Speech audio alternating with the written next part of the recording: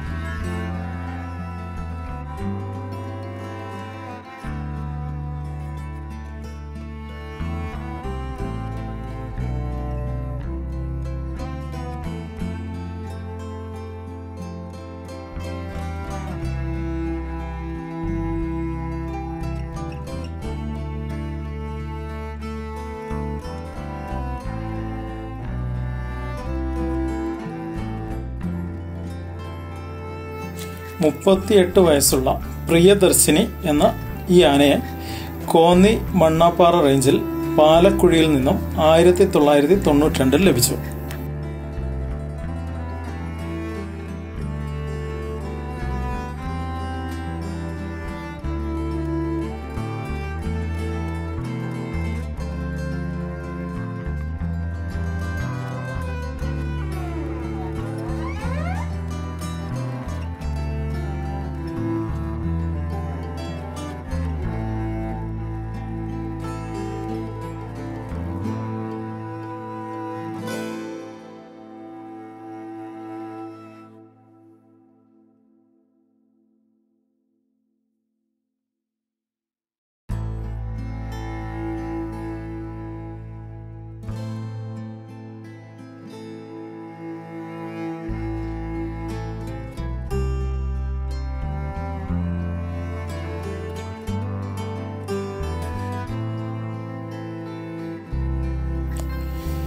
Eva എന്ന പേരുള്ള ഇരുപത് വയസ്സുള്ള ഈ ആനയെ മലയാറ്റൂർ ഡിവിഷനിൽ കോടനാട് റേഞ്ചിൽ ഏറുമുഖത്തു നിന്നും രണ്ടായിരത്തി മൂന്നിലാണ് ലഭിച്ചത്.